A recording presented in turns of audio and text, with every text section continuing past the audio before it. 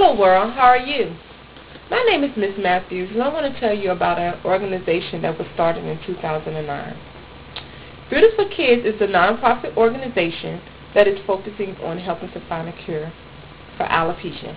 Do you know what alopecia is? Alopecia is a fungus bacteria that attacks the hair follicle and causes permanent hair loss.